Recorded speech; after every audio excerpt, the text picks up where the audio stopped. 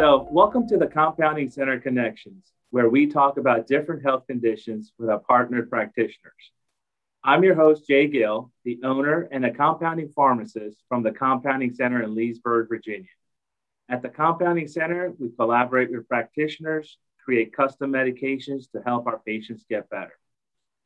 In today's episode, we have Dr. Andrew Wong from Capital Integrative Health in Bethesda, Maryland. And today's topic we're going to discuss with Dr. Wong is on low dose naltrexone and its use in autoimmune disorders. Welcome, Dr. Wong. Thank you so much, Jake, for having me on. Really appreciate it. So, could you take a moment and just kind of introduce yourself to the listeners and the viewers um, about yourself, your practice? Sure. So, I am the co founder and owner of Capital Integrative Health, which is an integrative and functional medicine and wellness clinic in Bethesda, Maryland, which is not too far from Leesburg, um, right in the DC area. And we uh, really focus on wellness, you know, optimizing wellness. We also focus on reversing and dealing with chronic disease, in particular, looking at root causes of why someone might be having chronic health issues so that they can get their life back on track and enjoy their life. So um, that is our, our clinic, uh, Capital Integrative Health. I am a, a doctor, that medical doctor that's trained in both uh, traditional internal medicine and uh, having done my residency at Georgetown, as well as more advanced training in integrative medicine through the University of Arizona as well as certified practitioner with the Institute for Functional Medicine. Um, in addition, I do have some medical acupuncture training, although I don't use that as much in my practice, although I think that's also very beneficial. Great. So I'm so excited to, that we were finally able to coordinate our schedules and uh, get this episode uh, yeah. recorded. You have used low dose naltrexone in your practice for many years, and you've actually given some uh, talks on it. So uh, let's get started. Um, and what is low dose naltrexone, and why is it called low dose naltrexone? Yes, well, uh, I've, I've used low dose naltrexone for about 10 years now. I started using it in 2012, so it's been about 10 years. Wow. Naltrexone uh, was first synthesized in 1963 as an opioid receptor antagonist, and it was approved in 1984 by the FDA for treatment of opioid addiction, specifically with heroin and morphine addiction. Um, so the typical doses that are FDA approved for what I call high dose naltrexone or more conventional naltrexone for opioid addiction will be 50, 50 to 100 milligrams. Um, and so naltrexone is structurally related to naloxone, which is Narcan, but I think for purposes of low dose naltrexone, this is a lower dose of naltrexone. Again, the higher dose would be between 50 and 100 milligrams. The low dose is usually between one to five milligrams, although the range is probably more like 0.5 to six or so. But that has a different physiologic effect than that higher dose naltrexone. Uh, there was a doctor um, in New York City, actually, Dr. Bihari, B I H A R I, that did a clinical trial of HIV patients in 1985 at the SUNY Downstate Medical Center. Um, and at, in the 1980s, when the AIDS epidemic was happening, he discovered that low dose naltrexone actually helped these patients with low CD4 counts, et cetera, actually helped their immune system function and balance and quality of life. So then he started researching other conditions for low dose naltrexone, things like uh, chronic inflammatory conditions, uh, whether we talk about things like fibromyalgia or chronic pain, or uh, even even chronic infections like Lyme uh, that's been studied, as well as autoimmune conditions like Hashimoto's and many other conditions. But I would say in the past couple of decades now, many integrative physicians and other practitioners have used low-dose naltrexone as a supportive treatment for many conditions in conjunction with the other integrative and functional treatments that we do. It is considered a compound medication. That's why we send the LDN prescriptions to UJ uh, Compounding Center. It's not FDA approved for any specific condition, but we found clinically that off-label low-dose naltrexone has been really helpful for a lot of conditions. Great. So, you know, um, you've been using it uh, for the last 10 years or so. And would you say uh, it's quite safe to use? Any common side effects that you uh, have patients uh, complain about? Yes, Jay. Uh, LDN I found to be very safe. Um, very safe. In fact, I would say the major side effect, which occurs in a minority of patients, you know, I would say probably less than 20% of patients have some sort of vivid dreams or kind of weird dreams or insomnia. And you know, it's not everyone, but there are there is a subset of people that do, do have that. LDN has been traditionally um, uh, sort of recommended to take in the evening based on the the sort of physiology of it. Um, basically, the opioid receptors are blocked, um, and when you block it at night, then you have more of an endorphin rush, and that is augmenting the natural endorphin kick that you get between 2 to 4 a.m. So you typically want to take it about four to six hours before. That might be like, you know, 9 or 10 p.m. So that's when you should take the ideally for best physiologic effect. However, since some people get insomnia from it, and, and again, a minority of people get insomnia from it, but we'll just switch people to take it in the morning with breakfast and then they don't have any problem with the insomnia. I don't really see a lot of other side effects from it, honestly. Um, I think uh, you know anything could cause nausea.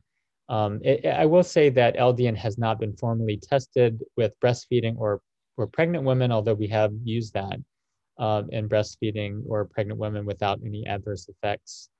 And um, it also has a very short half-life of six hours, so that I, I think some patients have asked me this before if they had a knee surgery and needed some acute actual opioid medication, could they get off the LDN without any you know cold turkey without any withdrawal symptoms and you can do that because of that short short half life so you know oh uh, so you know uh, ldn is uh, uh, a pretty um, uh, big part of our practice and we too field a lot of questions on vivid dreams uh, and usually that subsides i'd say about a week to 10 days later um, and, and, you're and you're correct that the half-life is very short you really eliminate it all in 24 hours. So, yeah. Um, um, now, uh, did I interrupt you? Uh, you were going to say something else.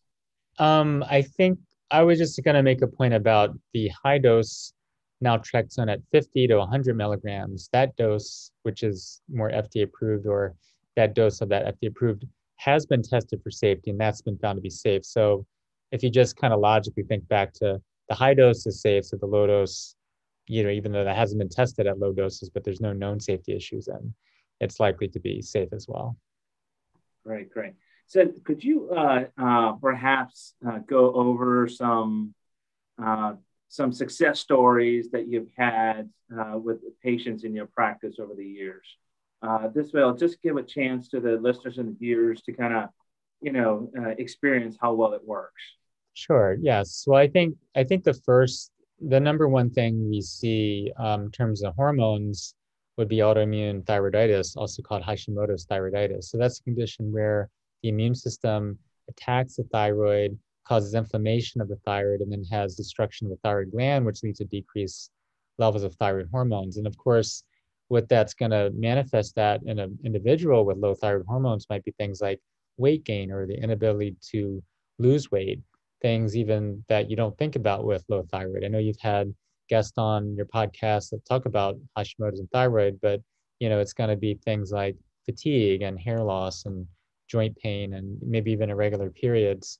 Um, and so all these all these conditions, all these symptoms can be actually caused by autoimmune thyroiditis. And we know that low-dose naltrexone works in part to increase what's called the T regulatory cells, which means that basically will or can stop autoimmunity in its tracks or make it much less severe. So we've had, like for instance, 35-year-old woman with Hashimoto's with elevated thyroid antibodies. That means the thyroid is under attack by the immune system. And once you put that person on, you know, put her on LDN at a, a low dose, like 1.5 milligrams, along with some other nutritional modulation, maybe taking out gluten and dairy, reducing inflammation, then her numbers start going down in terms of the thyroid antibodies start going down, her hormone levels start going up, and she feels better. You know, she has less joint pain, less fatigue. She's trying to, you know, lose weight, which she's trying to do if she's, you know, she's been overweight for the first time in several years. So the LDN can be a really good complement, I think, to our nutritional programs that we have here, as well as, you know, some people might need thyroid medication, but they might need less thyroid medication if they're on something like low dose naltrexone. Gotcha. Um, How about anybody with uh, chronic fatigue or fibromyalgia? Um, um, any success stories there?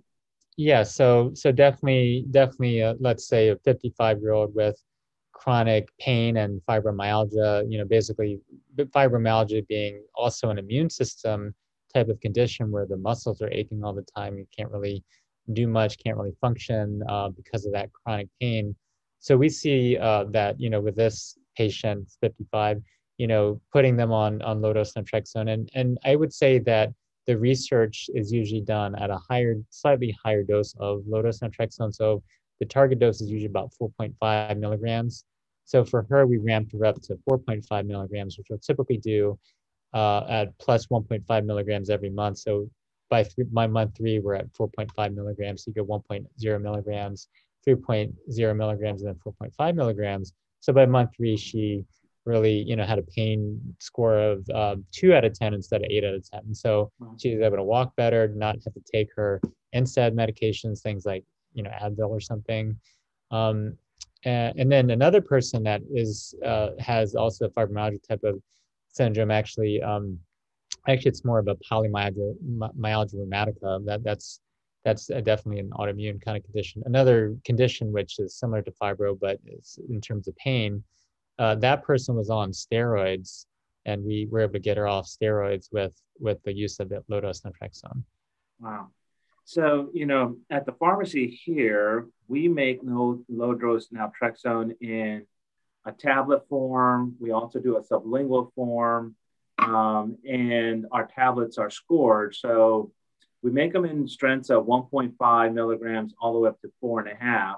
And someone who is uh, a little bit more sensitive can almost split the one and a half in uh, one and a half milligram tablets in half and start at a 0.75 uh, milligram dose. And have you, do you use any, do you, do you usually use the oral dosage form or have you seen different results with sublingual? Uh, could you share your thoughts on that? Sure, sure. I've, I've started to use. Uh, I've always used the the the oral form, either either capsule or tablet. Um, you have, you have tablets there, so we use tablets there. But I, I would say that and and tablets really good, like you said, because it's scored and you can you can break it up. You can make it a 0.75 milligrams. And and I think from a perspective of that that ultra low dose naltrexone, which is considered less than 1.5 milligrams, sometimes will start as low as 0.5 milligrams, but 0.5, 0.75 milligrams can be really beneficial for uh, someone's immune system. Sometimes you, you don't want to start at a, a higher dose, like 4.5, because that might tweak their immune system too much. Um, so I would say 90% of the time we're using tablets. Um, you know, probably 10% or less we'll, we'll use sublingual, although I'll, I think that'll be a bigger part of our practice, you know, and as we kind of keep on going with it. Um, low-dose naltrexone sublingually, the benefit there is if someone has a gut issue, they have issues potentially with absorption. So when I say gut issue, I mean things like if someone has a diagnosis of irritable bowel syndrome, or they might have something like chronic candida or parasites or H. pylori, or you know basically some sort of gut issue causing gas and bloating, then that's going to imply that they're not likely to absorb nutrients or medications or supplements. So very well or optimally or ideally. So if we look at it that way, then sometimes doing that sublingual would be helpful for someone with a gut issue because that sublingual is just going to go right into the sublingual vein, of course, and it will go direct into the body and bypass the gut. So we are starting to use that more, especially for people with GI issues. Is kind of my answer there. Okay. Now, um, how long would you say does a person stay on low dose naltrexone? Honestly, before I, I used to say try it for a month or two and then just come back and we'll see if it works or not. And then if it doesn't work, we'll take you off of it. But a study done in 2019 at Emory actually showed that people that were on low dose naltrexone for at least six months had a better pain response, had better results. So I think there's something about the immune system modulation that happens longer term. So I, w- I would I would aim for three to six months. Knowing the study results of that, I would try to have people on it for six months before making an evaluation of whether or not to go off of it or not. But I might tweak the dose uh, up or down, you know, during those first six months of treatment. My goal always as a functional medicine practitioner is to find the root causes of why someone might be having pain or inflammation or autoimmune thyroid, etc., fibromyalgia. So LDN is a good way to reduce that immune system inflammation as we keep hunting for some of the, the root causes. Of course, inflammation itself might be the root cause because some people actually have gut issues or infection issues that were treated by the immune system, by their own immune system initially, but then the inflammation itself continues to be ongoing. And so that inflammation might actually be the reason why the autoimmune condition, let's say, or the chronic pain condition is perpetuated. So we'll be able to figure out usually by six months, I would say, if it's uh, if it's being beneficial to the patient or not. Gotcha. So, Dr. Wong, could you uh, tell the listeners or the viewers how can somebody reach out to you and get in touch with you? You've, you know, you talked a whole uh, lot of information to us on low dose naltrexone, and it makes me wonder, okay, how how can somebody reach out to you? Yeah, so if you're interested in finding out more about what we do, especially with low dose naltrexone and integrative health and functional medicine, we have a website that's probably the best place to start. So it's Capital Integrative Health. So that's uh, www.cihealth.org, cihealth.org for Capital Integrative Health. And then you can always um, call our, our phone number, uh, which can be found on our website, etc. We also have a Facebook group. So if you just search up Capital Integrative Health, we'll be there. And um, we also have a private Facebook community, which are all, of your listeners and you, Jay, as well, are welcome to join uh, called Capital Integrative Health Community. And we are uh, doing some really great stuff on there as well, some community based stuff. Great. Um, so, yeah, just to our listeners, uh, this is a little bit of a disclaimer that everything discussed today is just for informational purposes only, not for diagnosis. And uh, Dr. Wong, thank you very much for joining us today. And uh, I can be reached at j at compoundingcenter.com. If you have any questions or comments, please feel free to reach out to us. Thank, thank you once again, Dr. Wong. Thank you so much, Jay, for having me. Good to see you.